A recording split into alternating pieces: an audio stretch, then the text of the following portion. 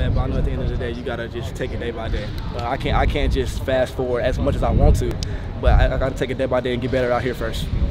Speaking of going fast, though, it's easier to perform faster once you've been through this for you, Mhm. right? Oh yeah, of course it, it is. It's way easier. You know, you know what to expect. Uh, you know, but now my job is to just help the young corners out and uh, help them get through the process now. Expect a lot of similarity in what you guys run, ran last year under Jim versus what uh, Coach Mason's Oh yeah, now? of course, and, and that's that's one word, aggressive. really, really aggressive. And so it's, it's, it's a few similarities, a few similarities and a few differences. So. Mhm. What are you looking forward to most this season? the crowd. For sure, the crowd. The crowd trying to just, you know, I'll be dreaming about just getting a turnover, you know, and it's the crowd just going crazy. So really, really much that. For more information, you can visit tulsaworld.com.